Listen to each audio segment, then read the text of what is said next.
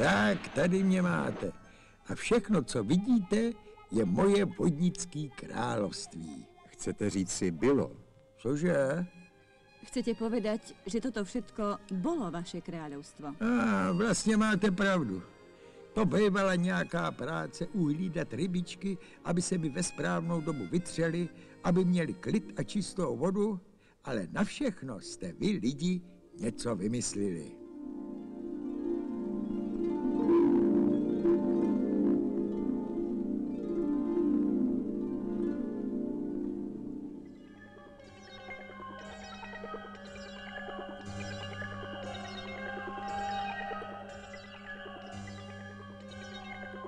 To viete, my ľudia občas premýšľame, A někdy také něco vymyslíme. I na ryby.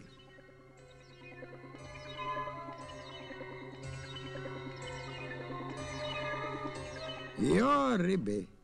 To můj praděd, ten měl jinačí práci, i když mu lidi taky sem tam pomáhali.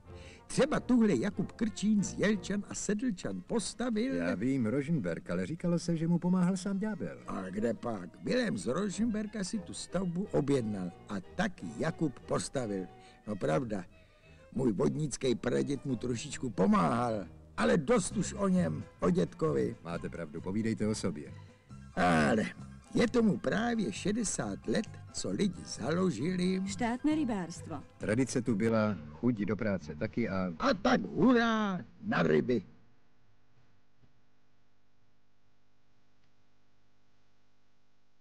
A naopak pěkně od začátku a organizovaně.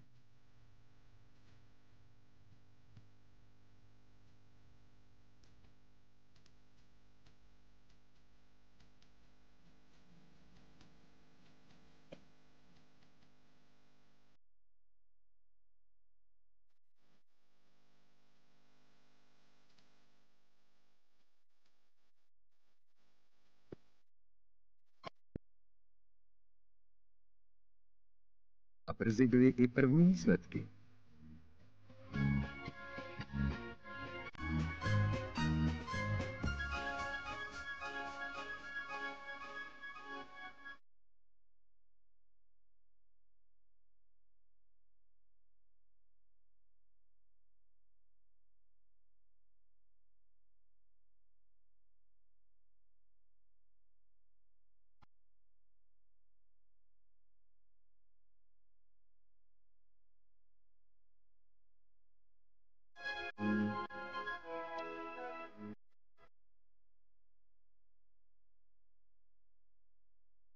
Že to nebylo jenom ryby lovit, ale také je chovat a starat se o ně. A já jsem začal ztrácet práci.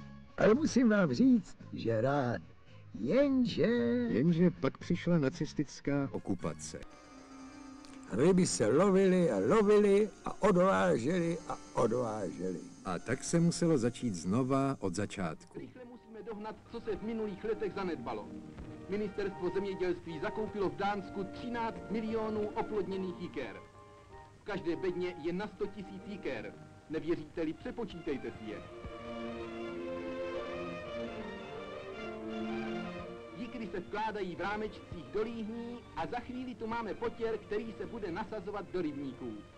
Rybáři, těšte se.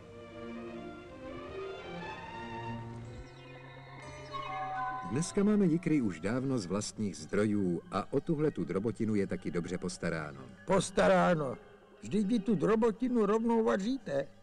Ale kdeže, len využívame ohriatú vodu z elektrární, ktorá sa predtým strácala bez úžitku v riekach.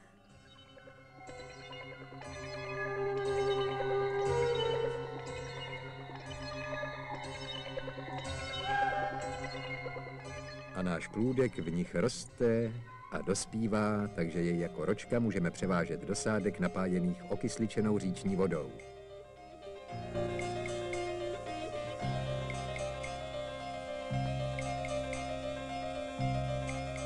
Alebo do klietkových odchovní v hlbokých vodách priehrad.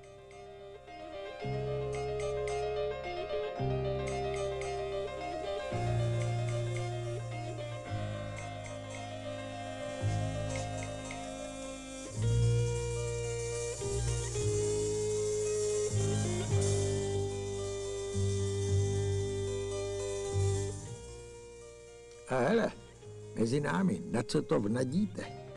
My je nevnadíme, ale krmíme granulemi obohacenými o bílkoviny. A co nespotřebují sami, zůstává jako krmivo pro ostatní přirozené rybí obyvatele přehradní nádrže. To jsem rád, že mluvíte o jiných rybách. Pštrousci, to je pro vás taková lahůdka. Ale co o Vánocích? Nemějte obavy, těžiště produkce sladkovodních ryb zůstává samozřejmě na kaprech. O kaprov je tiež najväčší záujem. A nie len u nás, ale aj zo zahraničia. A nie iba v čase Vianoc.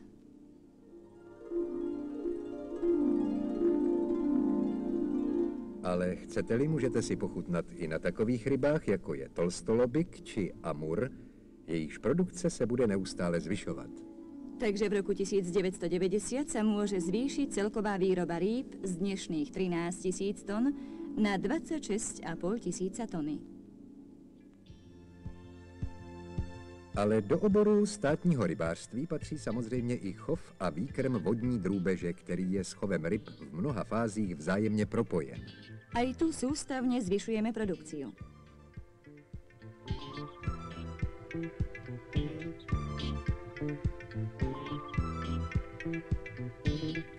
Co jim to děláte? Ty co ještě malinký? A právě jednodenní mláďata musíme očkovat proti infekčním chorobám, které v dřívějších dobách působily značné ztráty.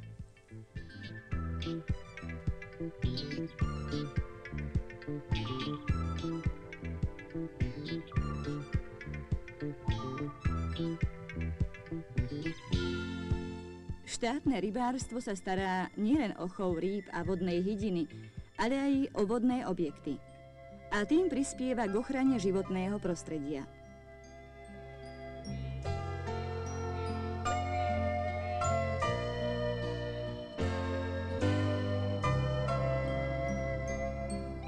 Vidíte, vždyť jsem vám to říkal. Vy lidi mě už k ničemu nepotřebujete. A tak já teda zase jdu.